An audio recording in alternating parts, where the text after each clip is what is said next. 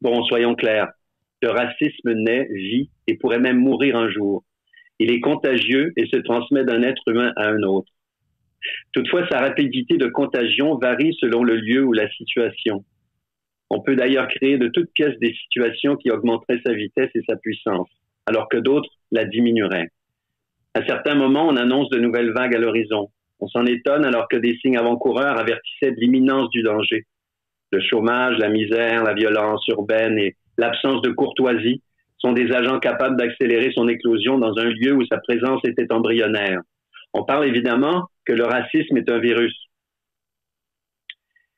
Mais le racisme a cette particularité de ne jamais naître à l'endroit où on se trouve. C'est un virus qui vient toujours d'ailleurs. Si le chômage fait soudain rage, on montre alors du doigt les nouveaux venus qui conservent en eux, semble-t-il, ce gène de la misère qui permet au racisme de féconder. C'est en voyant un malade qu'on apprend l'existence du virus, sinon il reste invisible. Ce qui fonde l'idée que le malade est responsable de la maladie. Si le blanc pense que c'est avec le noir que ce virus est arrivé en Amérique, le noir croit, lui, que c'est la cupidité du blanc à vouloir exploiter son énergie qui le garde encore vivant. Il n'y a pas de noir sans blanc, comme il n'y a pas de blanc sans noir.